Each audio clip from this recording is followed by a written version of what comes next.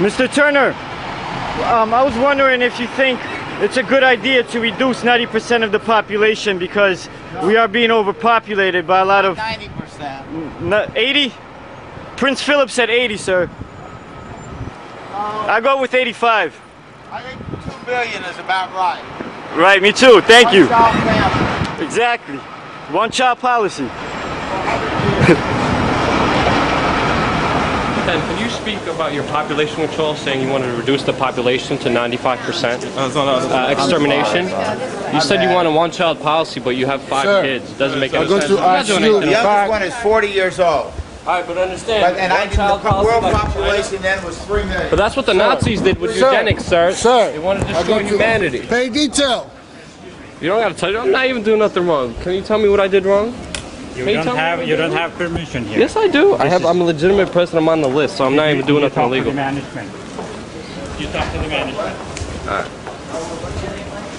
Ted Turner, you're an enemy of humanity, and your Nazi-like policies won't be tolerated. I don't want to give you any trouble. I'm just trying to ask Yes, my you are. questions, and that's what I'm trying to do. I'm leaving, okay? Don't worry about that. Why do you want to destroy humanity, sir? You're an enemy of humanity. Why do you support eugenics? Sure. The Nazis support eugenics too. I'm on a public sidewalk, and you cannot care. touch me. No, this is a public sidewalk. Get it. Sir, I'm just talking to him. I got to step, I see to step to the back. So what'd you do at the Bilderberg group? That's where you decided your eugenics policy? Is it when the Bilderberg? Just like just like the Nazis did, exterminated the Jews with eugenics. You're doing the same thing nowadays, trying to exter- uh, exterminate the normal people. Is 80% depopulation enough?